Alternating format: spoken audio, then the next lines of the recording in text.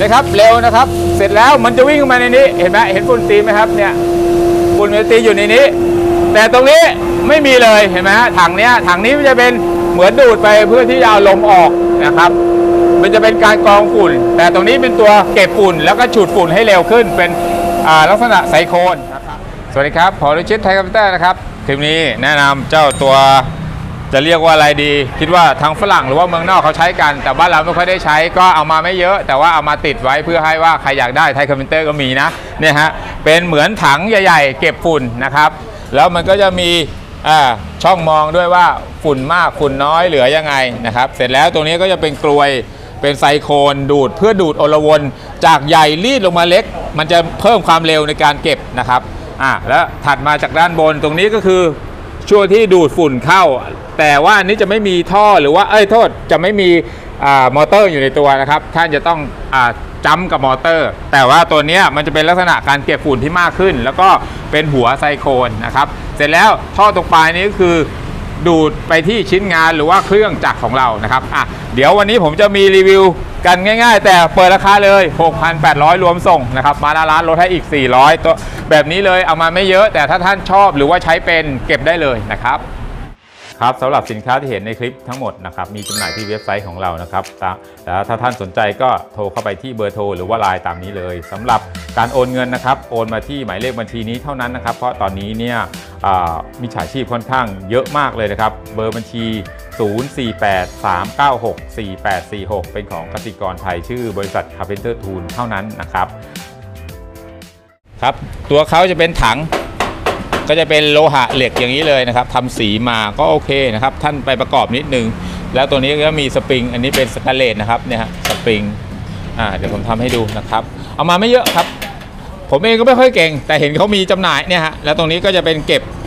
อยู่ข้างในตรงนี้นะครับ เป็นถังนะครับ อ่าแล้วก็ถ้าเต็มแล้วก็ไปทิ้งนะครับ เสร็จแล้วตรงด้านบนตรงนี้นะครับ ก็ถ้าก็เสียบเข้าไปมันจะมีเป็นชิ้นส่วนเวลาส่งไปนะครับ 1 2 3นะแล้วเป็นถังใหญ่เนี่ยเป็นในกล่องนะครับ เสร็จแล้วเขาก็จะมีจ้ำกันนะครับในผมเห็นของฝรั่งเขาจะเป็นท่อท่อ 2 นิ้วนะครับขึ้นไปอย่างนี้ แต่อันนี้ก็จะเป็นท่ออ่อนแต่ฝรั่งเขาทำท่อแข็ง อันนี้พูดกันตรงๆเลยผมก็ไม่รู้ว่าเขา มีลักษณะของลักษณะของทางกายภาพหรือว่ามันเป็นยังไงนะครับในทางฟิสิกส์เนี่ยดูดลมจากตรงนี้มาแล้วมันเร็วยังไงหรืออะไรอย่างเงี้ยอันนี้ไม่เข้าใจยังอธิบายไม่ได้ แต่ว่าเห็นฝรั่งเขาก็ทำแต่อันนี้เป็นท่ออ่อน แต่เขาจะทำเป็นท่อเดินแข็งมาอย่างนี้เลย ถ้าเกิดท่านที่เป็น FC ของพวกต่างประเทศเนี่ยก็จะเห็นนะครับแบบนี้อะอย่างนี้เสร็จแล้วมีอะไรอีกก็คงไม่มีอะไรมาก เพราะว่าถ้าท่านที่เข้าใจแล้วคงจะ เป็นกลุ่มเฉพาะด้านนี้นะครับอะเดี๋ยวผมจะลองเสียบกับสมมติว่าเรามีท่อดูดฝุ่นอยู่แล้ว ตัวหนึ่งอันตัวนี้เป็น 2 แรงที่เราจำหน่ายอยู่แล้วนะครับ ถ้าสมมุติว่าตรงนี้บอก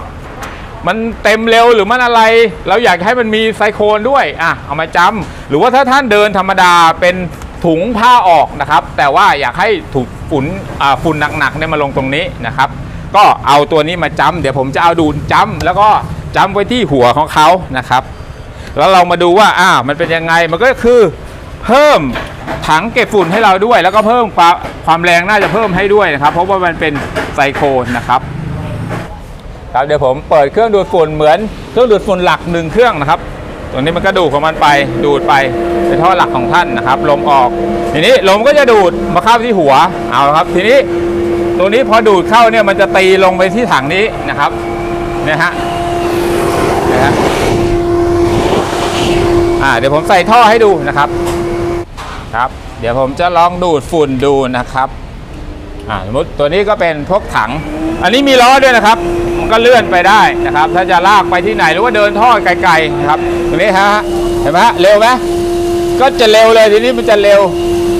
นะครับเร็วนะครับ เสร็จแล้วมันจะวิ่งเข้ามาในนี้เห็นไหมเห็นฝุ่นตีไหมครับเนี่ยฝุ่นมันตีอยู่ในนี้ แต่ตรงนี้ไม่มีเลยเห็นไหมฮะถังเนี้ยถังนี้มันจะเป็น เหมือนดูดไปเพื่อที่จะเอาลมออกนะครับ มันจะเป็นการกรองฝุ่น แต่ตรงนี้เป็นตัวเก็บฝุ่นแล้วก็ฉุดฝุ่นให้เร็วขึ้น เป็นลักษณะไซโคนนะครับอ่าเห็นอย่างนี้นะ มีคนอุดหนุนไปแล้วนะผมยังไม่ได้ทำรีวิวเลย แต่เขาใช้เป็นไงถ้าเกิดว่าคนที่ใช้เป็นก็เนี่ยลองดู 6,800 รวมส่งด้วย เก็บได้ก็ผมว่าผมมาไม่เยอะมาสำหรับ FC เรานะครับ ครับเดี๋ยวผมจะลองใช้กับ 60 ลิตรเครื่องดูดฝุ่นบ้านนะครับ มันเรื่องของเรื่องคือเจ้าพวกเนี้ยมัน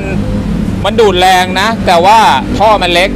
เวลาเราขยายเป็นใหญ่เนี่ยบางที หรือว่ามันเป็นลอสพวกนี้มันอาจจะได้ระดับหนึ่งอะเดี๋ยวลองดูนะ แต่ข้อดีคือมันมีถังช่วยเก็บตัวเนี้ยนะครับ ลองดูนะครับเนี่ยฮะมันได้ระดับหนึ่งมันไม่ค่อยแรงมาก แต่มันก็ได้ระดับหนึ่งนะครับเนี่ยฮะแรงไหมได้ระดับหนึ่งแต่ไม่ถึงก็แรงบูท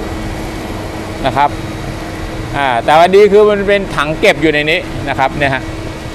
เหมือนมาต่อเข้าเนี้ยมันจากเนี้ยฮะมันใหญ่มันเล็กไงลองดูตัวเขาดูก่อนว่าตัวเขาเป็นยังไงเดี๋ยวตัวเขาอย่างเดียวนะครับแต่ถ้าลองดูตัวเปล่าเนี่ยผมว่าความแรงมันน่าจะแรงกว่านะครับเพียงแต่หัวมันเล็กไงแล้วหัวมันเล็กแล้วมันเป็นใหญ่อย่างเงี้ยมันผมว่ากำลังมันก็อาจจะอะไรอย่างเงี้ยตัวเปล่าๆ60ลิตรเนี่ยอันนี้ออโต้นะมันก็จะน่าจะแรงกว่า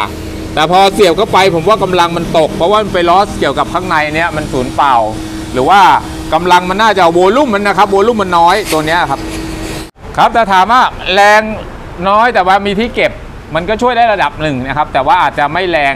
ดีเท่าเจ้าตัวพวกเครื่องดูดฝุ่นใหญ่ๆเขาก็แนะนำไปใช้เครื่องดูดฝุ่นใหญ่ๆ คือเป็นตัวช่วยพักเก็บถังหรือว่าเอาถังไปทิ้งดีกว่านะครับ แล้วตรงนั้นก็เป็นตัวเหมือนระบายไปอย่างเงี้ยนะครับ ครับผมถ้าชื่อชอบเจ้าตัวนี้นะครับ ผมไม่รู้ว่าจะเรียกอะไรดี เรียกว่าถังเก็บเก็บฝุ่นแบบไซโคนนะครับแบบนี้แล้วกันนะครับ 6,800 รวมส่งนะครับ มาหน้าร้านผมก็ลดให้เหลือ 6,400 นะครับอะใช้ร่วมกับพวกเจ้าเครื่องดูดฝุ่นตัวใหญ่ดีกว่านะครับหวังว่าจะได้รับประโยชน์จากคลิปนี้นะครับ ขอบคุณมากครับที่ติดตามชม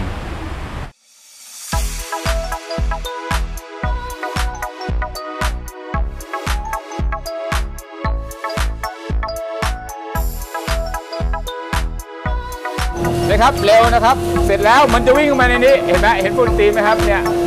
ฝุ่นมันตีอยู่ในนี้ แต่ตรงนี้ไม่มีเลยเห็นไหมฮะถังเนี้ยถังนี้